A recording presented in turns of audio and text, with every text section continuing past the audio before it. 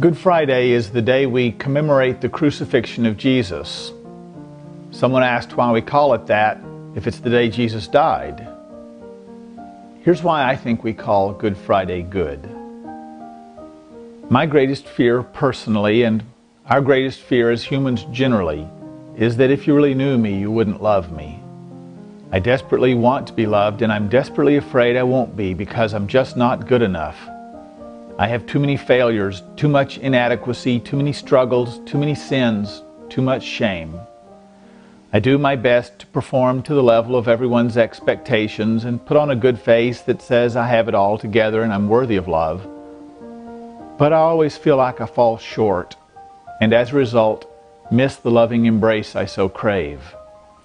Everyone keeps their distance, or they get just a little close for just a little while, and then they pull back from me when they discover my worthlessness. On Good Friday, I was loved. On that day, for the very first time, I saw someone love me utterly at the highest personal cost imaginable, not when I was at my best, but when I was at my worst. At that moment when I shouted, Crucify him and give us Barabbas. At that moment when I betrayed and deserted and killed him, he let me, and still he loved me. And he understood that I didn't know what I was doing, that I was better than that, and he didn't measure my worth by my shame. And he forgave me, and he continued to reach out to me to build relationship with me.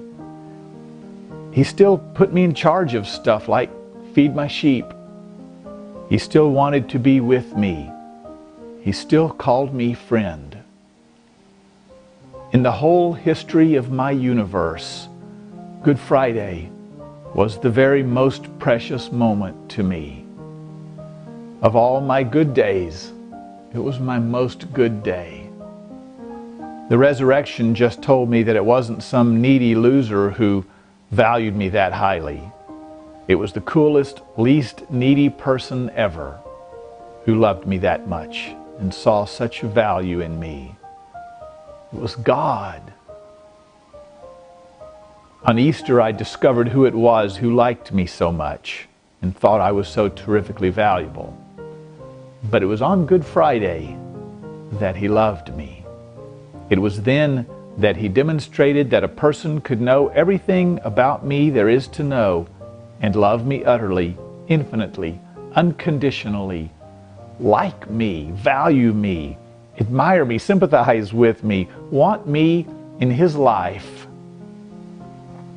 There used to be a commercial in which a little girl points to all the places on herself where this little boy has shown her attention, sometimes awkwardly, because he likes her.